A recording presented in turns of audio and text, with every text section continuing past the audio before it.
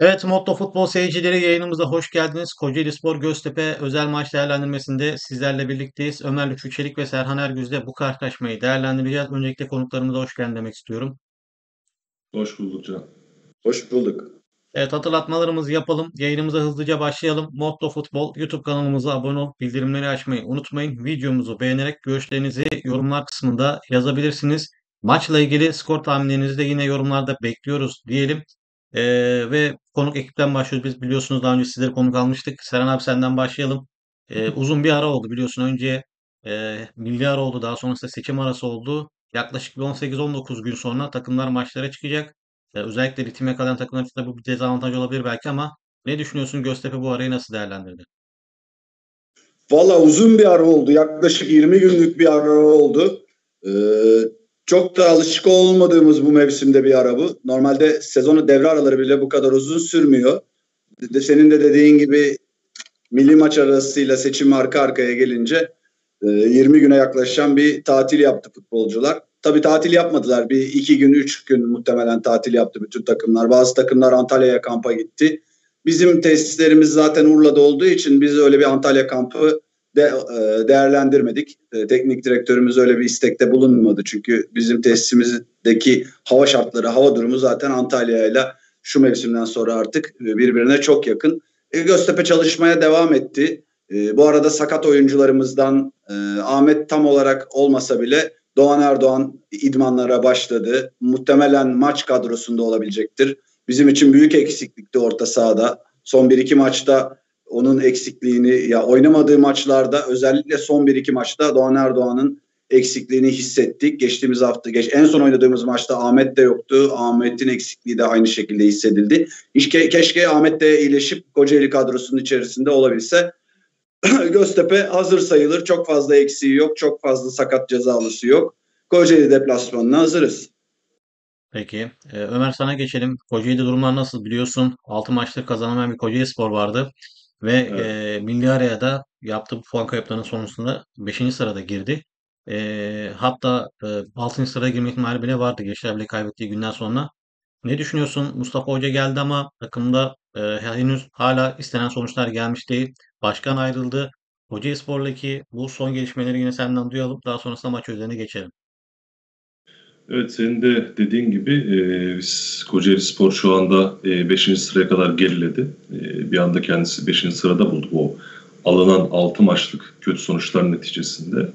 E, Mustafa Hoca e, takıma dokunmak istiyor açıkçası. Biz kendi e, görüşler, görüşmelerimizde de e, idmanlarda da görüştüğümüz zaman da kendisi de bunu telkin ediyor, bizlere söylüyor. E, ve yavaş yavaş da artık e, takıma dokunma sinyalleri vermeye başladı takım. E, antrenmanları takip ettiğimiz zaman bunları görebiliyoruz açıkçası.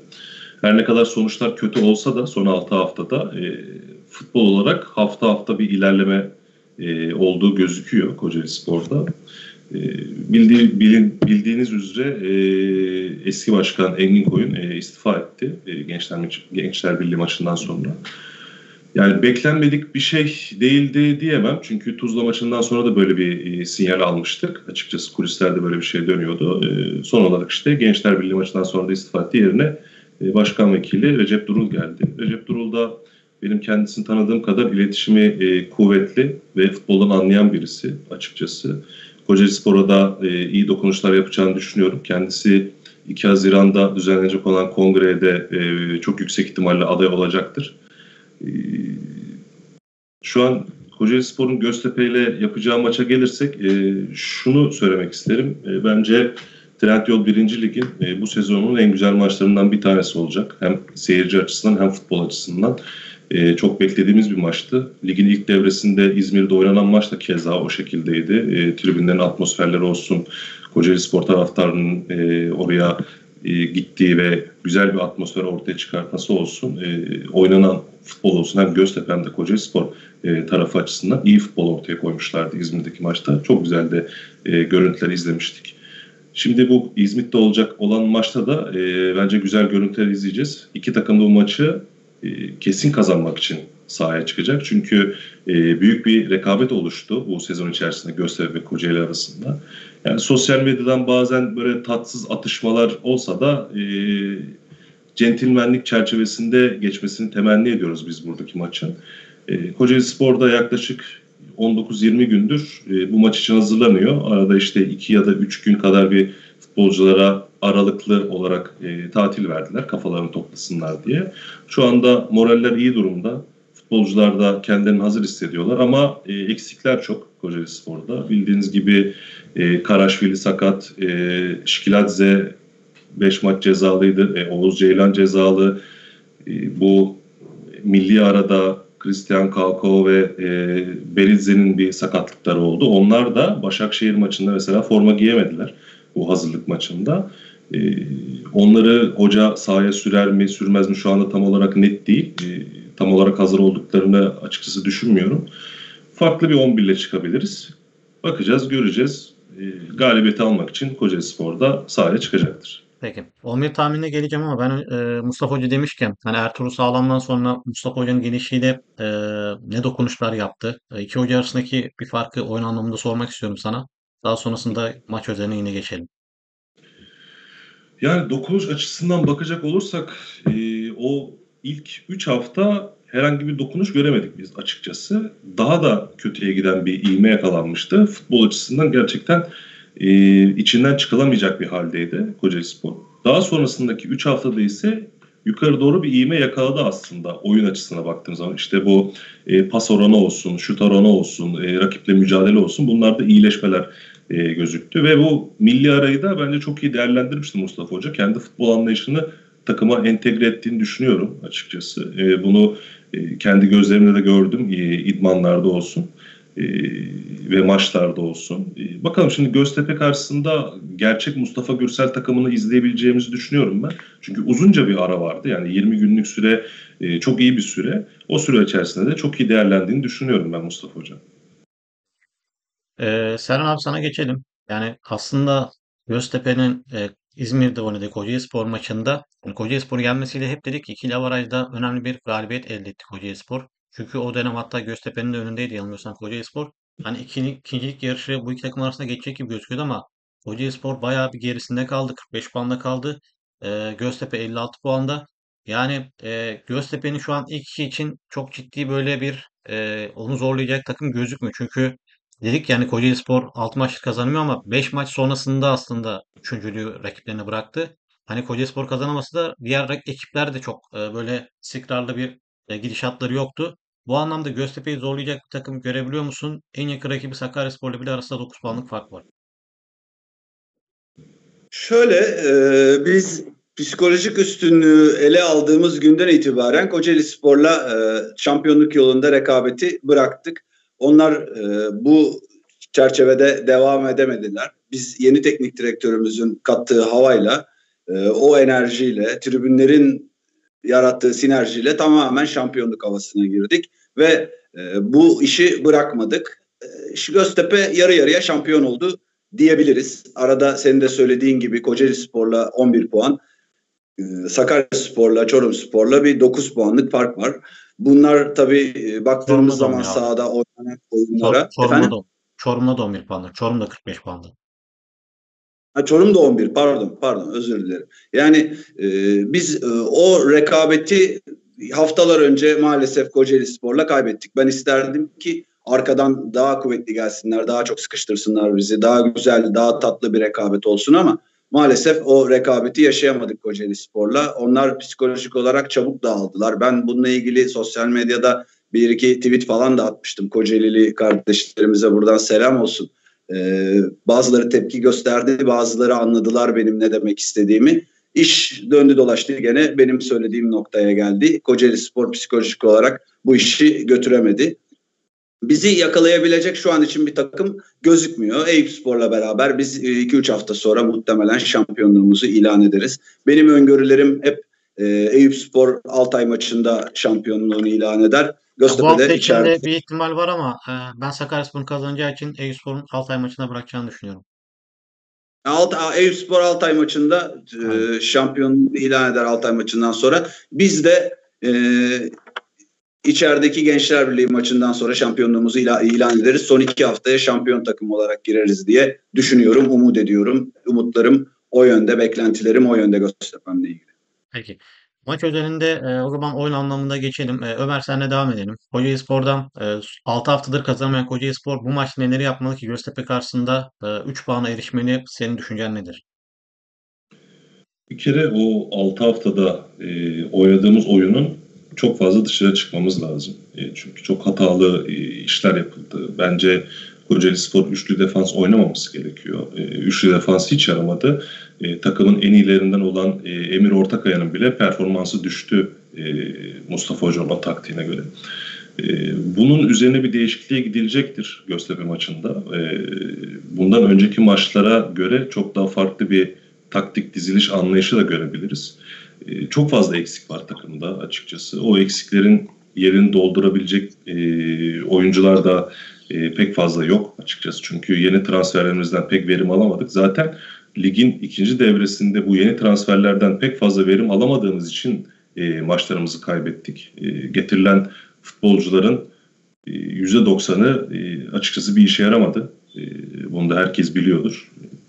Yaptığımız transferlerden e, sadece bence Vukovic'den verim alabildik. E, geri kalan hiçbirinden verim alamadık. Ne Ramil Şeydev'den olsun, e, ne bileyim Kavkav'dan olsun, işte Karaşvili'den yani hiçbirinden beklediğimiz verimi alamadık açıkçası. Sonra da zaten kötü bir iğme yakaladık. E, şu an Kocaeli Spor'da temel hedef playoff'ta 3. sırada yani finalde bitirmek ligi. Daha sonrasında playoff finalinde artık rakip kim olursa onu eleyip yeniden e, hak ettiği yere Süper Lig'e çıkmak Kocaeli Spor'un şu anki hedefi. Göztepe maçı da Kocaeli Spor için bir e, aslında diriliş maçı gibi bir şey olur. Çünkü eğer Göztepe maçı kazanılırsa e, şehir de yeniden e, umutlanır. E, daha sonrasında zaten bütün rakiplerimiz e, neredeyse playoff potasının içinde olan rakipler.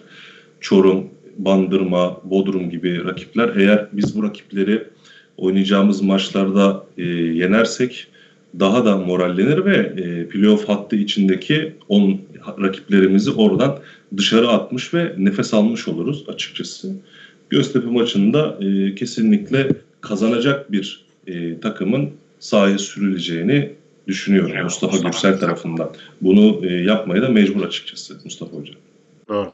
Peki e, Serhan abi sana geçelim. E, Sloya Hoca'yı geldiğinden beri çok met ettik, çok övdük. Çünkü hani Kocaelispor'un puan anlamında gerisindeyken bile oynadığı oyunla Kocaelispor'u geçebileceğini de çok kez konuştuk. E, hocanın performansı ile ilgili zaten e, senle de hani senin aldığımız programlarda da çok konuştuk. Kocaelispor deplasmanında da hocadan nasıl bir oyun bekliyorsun? E, Göztepe'nin oyunuyla ilgili senin görüşünü alalım. Hoca tarzından çok ödü, ödün veren bir yapıya sahip değil. Yani çok fazla oyununu değiştiren, taktik disiplininin dışına çıkan farklı oyunlar deneyecek oldu deneyecek bir hoca değil. Yani standart kendi oyununu oynayacaktır Göztepe.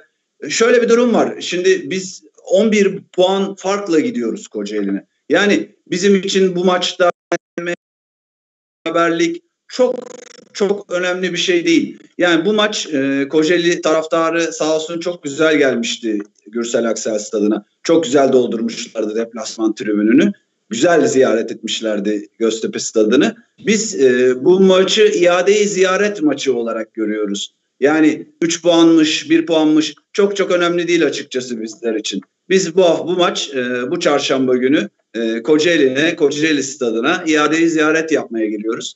Tüm Kocaeli şehrini de Göztepe taraftarını e, görmek için kendi takımını da desteklemek için e, Kocaeli stadında e, bulunmasını istiyorum ben şahsen. Yani e, okuyorum hep Kocaeliler e, serzenişlerde bulunuyorlar. Stadı dolduramıyoruz. Taraftarımız az geliyor. Büyük de bir statları var bildiğim kadarıyla. Yani şehirlerine Göztepe geliyor. E, Göztepe'de büyük ihtimalle şampiyon olacak. E, şampiyon takımı görmek için hem kendi takımlarını desteklemek için hem de bizim iade ziyaretimize tribünde karşılık vermek için bütün Kocaelileri ben stada davet ediyorum çarşamba günü. Abi ben de o konuya girecektim. Ee, dediğin gibi Kocaeli Spor çok iyi bir deplasman tribünü yapmıştı İzmir'de. Göztepe de herhalde deplasman e, biletlerini tüketti galiba. Kaç kişi geliyorsunuz? Aynı ben soruyu da Ömer'e soracağım. Buyur abi önce sen cevapla. Serhan abi. Saniyesinde tribünleri e, biletleri tüketti. Bizim bir bilet devir grubumuz var. E, hatta benim yönettiğim e, yüzlerce bilet arayan arkadaş var. Yani 1700 bilet değil, e, 3700, 5700 bilet olsaydı Göztepe taraftarı o biletleri de satın alacaktı ve Kocaeli'ye deplasman yapacaktı. Çünkü e, böyle deplasmanlar her zaman keyifli, zevkli deplasmanlardır. Karşıda taraftarın olduğu, karşıda ev sahibi takımının seyircisinin olduğu deplasmanlar her zaman zevklidir. İnşallah kavgasız, gürültüsüz, e, sıkıntısız bir deplasman yaparız. E, iki takım için de hayırlı olur. Dediğim gibi puan, puanlar, galibiyet, mağlubiyet çok önemli değil bu hafta çarşamba günü bizim için. Biz bu hafta Kocaeli'ne tribün yapmaya geliyoruz. Bu arada ben de statta olacağım. E, Kocaelispor Göztepe maçında orada olacağım. E, Ömer'e döneyim şimdi. Ömer'e de sorayım çünkü Kocaelispor'da e, bilet satışları ne durumda gidiyor? Maç hem hafta içine denk geldi hem Ramazan olması sebebiyle bu ne kadar etkiler? Zaten 6 haftadır kazanan bir Kocaelispor var. Bu etkiler mi? E, bilet satışları ne durumda Ömer'e soralım. Yani o ben Twitter'da bazen görüyorum ya da kendi yerel medyamızda işte şu kadar bilet satıldı, bu kadar bilet satıldı. Bu her maçtan önce e, aslında okumak için yazılan şeyler. Benim pek tasvip etmediğim şeyler gazetelerde. Ben de bir gazeteci olarak e, bu tür şeylerden kaçınmaya çalışıyorum açıkçası. E, Kocaeli Spor'da her zaman biletler son gün satılmıştır. E, isterse 30 bin olsun, isterse 20 bin olsun e, gidecek olan taraftar. Her zaman bu sayı son gün belli olur. E, gazetelerde yazar işte 4 bin tane bilet satıldı diye stadyuma gidersin 15 bin tane taraftar görürsün. E, bu maça ilginin daha fazla olacağını düşünüyorum açıkçası. E, çünkü tatlı bir atışma var iki takım arasında. En azından ben buna tatlı bir atışma olarak bakmak istiyorum. Çünkü futbol e, centilmenlik üzerine kurulu bir e, spor olması lazım. Bu şekilde bakıyorum. E, ikincisi stadyumumuza gidiş gerçekten çok sıkıntılı. Eğer evet. Kocaeli'de nereye stadyum yapılamayacak diye soracak olursanız ben orayı gösterirdim size en yapılamayacak yere stadyum yapıldı. Bunu bütün şehir biliyor. Ee, yollar berbat durumda. Şu anda orada İSU'nun da bir çalışması var. Ee, ama Köseköy tarafından bir bağlantı yolu açıldı. O bağlantı yolunu kullanarak e, stadyuma giriş çıkışlar olacaktır bu hafta. Çileli, sıkıntılı bir yer. Açıkçası artık taraftarlarımız da bu durumdan çok sıkıldı. Biz de gazetelerimizde, e, internet sayfalarımızda, televizyon programımızda, programlarımızda her zaman bu sıkıntıyı dile getiriyoruz. E, bu konularda yönetimi baskı altına alıyoruz. E, kent yöneticilerini, belediye başkanlarına her zaman bu şekilde böyle böyle bir sıkıntı var. Artık bu sıkıntının çözülmesi lazım diye söylüyoruz. Şimdi tramvay falan da gelecek Allah'ın izniyle inşallah. E, öyle olduğu zaman e, Kocaeli Spor tribünleri tıklım tıklım olacaktır. Çünkü e, bizim stadyumumuzdaki tek sorun ulaşım. Eğer o stadyuma 2 saat önceden giderseniz trafiğe yakalanmazsınız. Ama 1 saat önceden gitmeye çalışın. Kilit yani hayatınızda görüp görebileceğiniz en büyük trafiklerden bir tanesini görürsünüz. Kocaeli Spor Gençler Birliği maçına da Emre abiyle geldiğimizde hani trafiğe kalmayalım, hani çıkıştaki o yoğunluğa kalmayalım dedik. Erken çıktık maç e, biz arabaya binene kadar 2-0'dan 2-2 olmuştu hatırladım yani şimdi. Yani Bayağı gerçekten sıkıntı. sıkıntılı e, bir yer. Eğer gerçekten şehir merkezinde ya da Kocaeli Spor'un eski İsmetpaşa Stadyumu gibi stadyumu olsaydı e, orada ben Kocaeli Spor taraftarının her maç e, kapalı gişe oynayacağını düşünüyorum ki bunu e, tarih şahittir. Her zaman da böyle olmuştur. Kocaeli halkı sporu seven, futbolu seven bir halktır. E, sadece Kocaeli Spor nezdinde değil, diğer bütün takımlarını destekleyen bir halktır. E, spor kenti e, denir hatta. Sanayi kentini artık aşmaya başladık. Biraz da spor kenti olma yolunda ilerliyoruz. E, yani bakalım şimdi Ramazan da var. E, insanlar oruç açacaklar. Saat 8.30'da maç. E, tabii ki illa gelecekti. Yani benim tahminim 17 bin, 16 bin, 17 bin e, taraftarın maça geleceği e, yönünde. E, o zaman 11 tahminlerine geçelim yavaştan. Ömer hazır söz sendeyken e, nasıl bir 11 bekliyorsun bu karşılaşmada e, Kocaeli Spor'da? Şimdi son 3 e, hafta olması lazım. Son 3 haftadır Harun Kare'de. E, bu maçta hoca Gökhan'ı deneyebilir.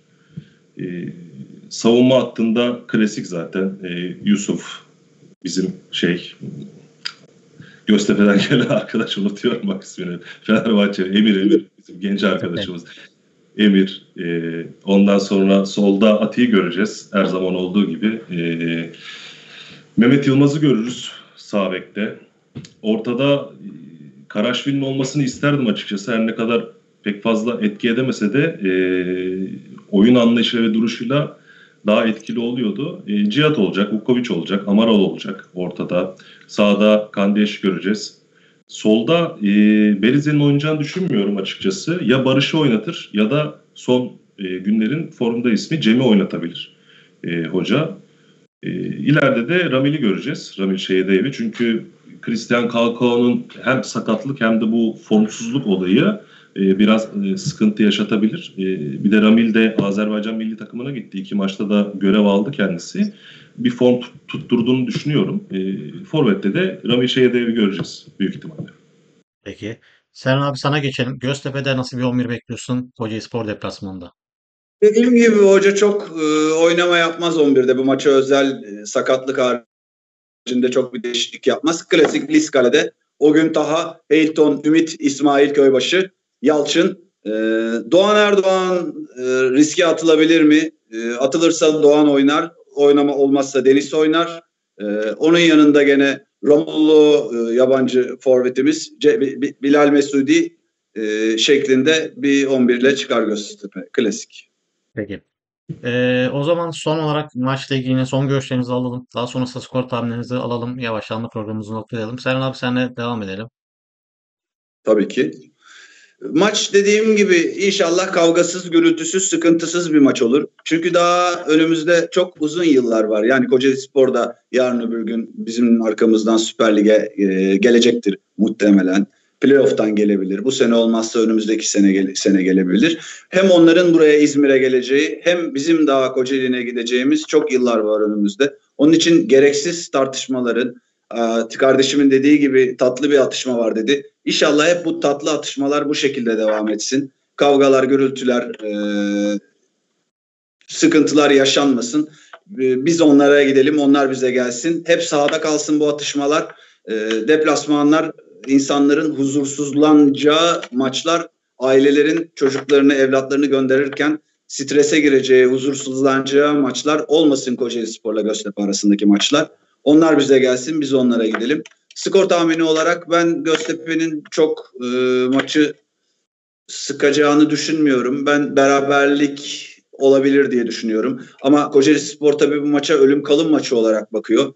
Ee, kendi kitlelerini, taraftarlarını da bir araya getirmek için, toparlamak için bu maçı mutlak kazanmak e, için sahaya çıkacaklardır.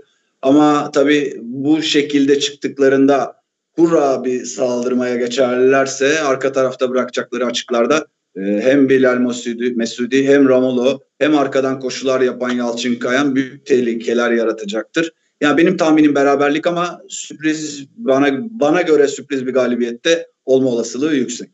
Anladım. Yani ben de e, şey konusunda katılıyorum. Yani Göztepe kaybederse çok bir şey kaybetmez ama Kocaelispor için beraberliğe bile tahmin yok artık. Kocaelispor 6 maçtır e, kazanamıyor. Göztepe de deplasmanda 5 maçtır kaybetmiyor.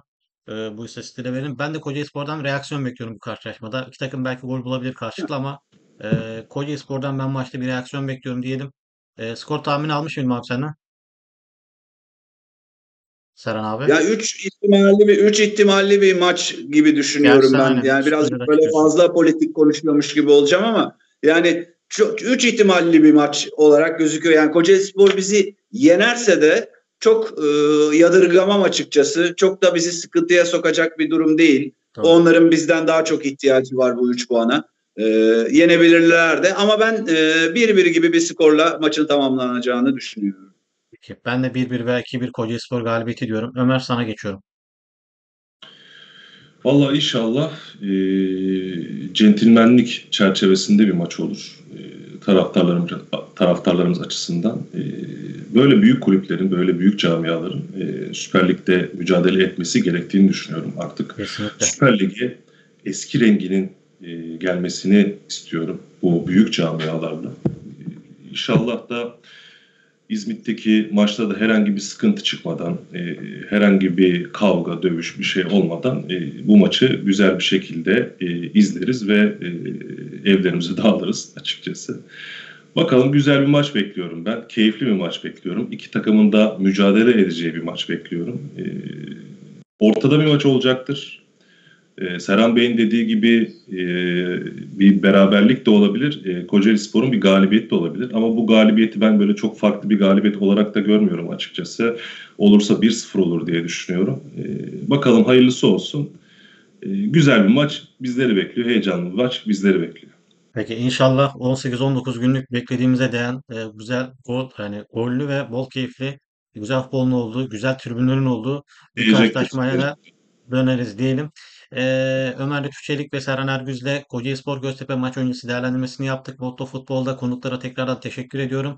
Kocaelispor'a ve Göztepe'de de hem bu maçta hem de sezonun geri kalanında başarılar diyelim. Kanalımıza abone olmayı unutmayın. Bir sonraki programımızda görüşmek üzere.